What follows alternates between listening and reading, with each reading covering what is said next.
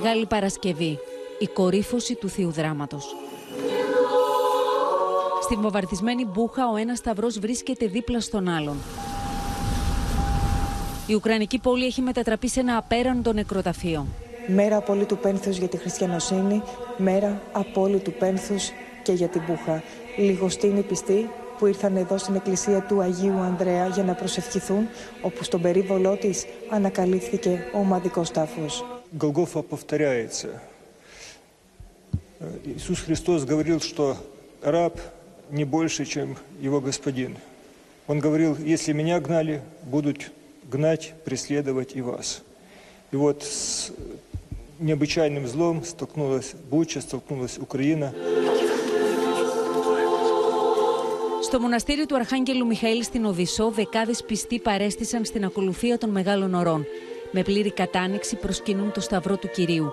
Με ευλάβεια του φιλούν τα πόδια και με σκυμμένο το κεφάλι προσεύχονται για τη λύτρωση. Ждемо Воскресіння Господнє, може Господь нам захисти нашу країну. От вороги б звільнилися, що ми до- я вже прожила ту війну, вже я ой, бачила на той війні я була. Але такого не було. Ми нікуди не в'їжджали, ми були в своїх хатах, у нас було нічого, вони нас не трогали. А це не Εκατοντάδε πολύχρωμα λουλούδια σπάνε το μαύρο τη ψυχή των πιστών. Είναι λουλούδια που μάζεψαν για να φτιάξουν τον επιτάφιο του Θεανθρώπου.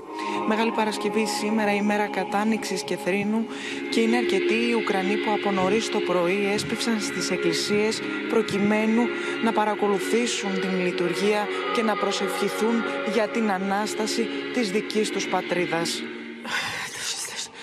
Чувство, что Бог все управит. Все в Божьих руках. Я не пророк, что будет, я не знаю, но все надеются, это я точно знаю. Все надеются на лучшее. Дай Бог так и будет.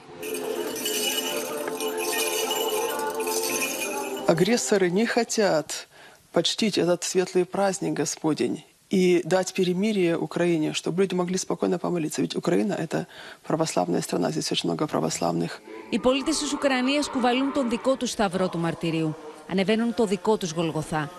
Πιστεύουν όμως ότι η ανάσταση και για εκείνους δεν θα αργήσει να έρθει.